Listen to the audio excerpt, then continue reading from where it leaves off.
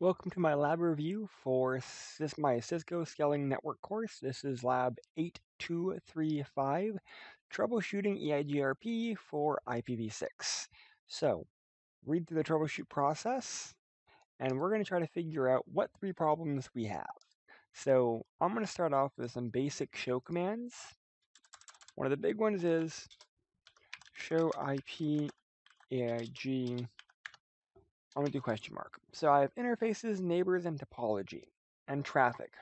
Well, I want to go ahead, I want to see my neighbors. Well, one of the problems is, with neighbors, I only see EIGR, EIGRP process AS number 11. Well, that doesn't seem too right. We've been using AS number 1 for most of our labs, so let's, uh, let's verify. I'm gonna hop over to R2, show EIGRP, EIGRP, show IP, EIGRP, neighbors. Oh, that's weird. Here we have process 1. So, either R1 or R2 has an issue with the process ID. Let's go to R3. Let's do the same thing show IP, EIGRP, neighbors. Okay, so first error that I found happens to be on R1. R1 happens to have process ID, sorry, has the AS number 11 instead of 1. So what I want to do is I want to document. And then I want to fix. So what I'm going to do is I'm going to copy this into Notepad. Fix the appropriate number. Get to my configuration terminal. No router yeah, E IGRP11. And then I want to go ahead and copy and paste this in. All right, so that formed two new adjacencies.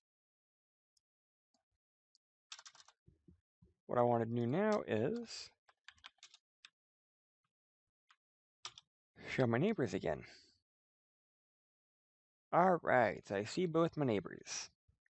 So first uh, device, R1, identify the problem, wrong AS number, proposed solution, remove the incorrect number and re-add using the correct uh, number. Yes, it was solved. All right, so this guy is now fixed. Let's go to R2. R2 is showing, again, no adjacencies. Now we're showing an adjacency between R2 and R1, but not R3. So R2 is not forming an adjacency with R3. Well, why? So let's go ahead and do a, let's do a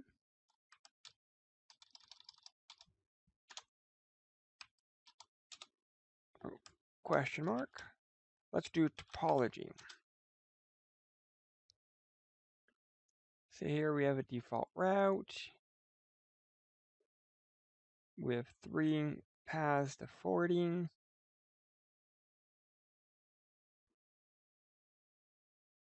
But not the 4228. We have pathways to 225, this guy.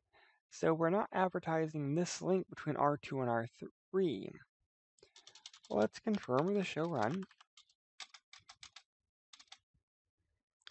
Okay, well, that's one of the reasons. I'm going to go ahead and get this in a Notepad.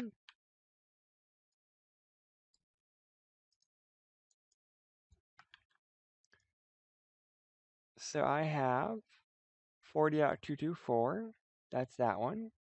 I have 31.20, that's going to be this guy right here. I don't have this 40 dot 228. So we need to add one additional network statement for 40.228. Verify 172, 31, 40, 224 with a wildcard of 0003.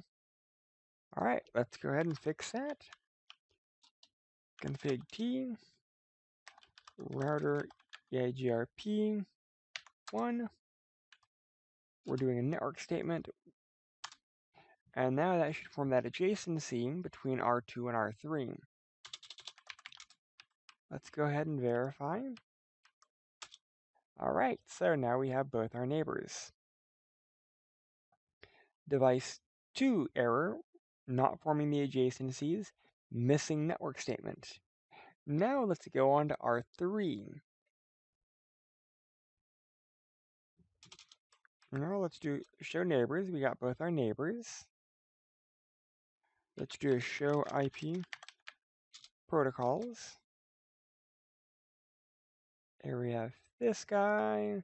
Here we have our passive interface. Here's our routing for our neighbors. Here's the automatic address summarization. Oh, well, that's one thing that we didn't want. We actually do not want it to auto summarize. So let's go ahead and fix that.